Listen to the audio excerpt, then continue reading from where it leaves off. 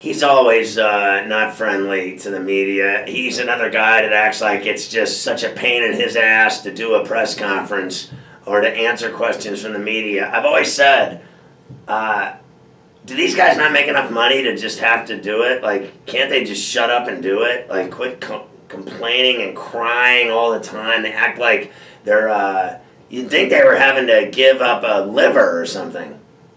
You know, they act like they're giving up organs to uh, do an interview. It's unbelievable, or a press conference, right?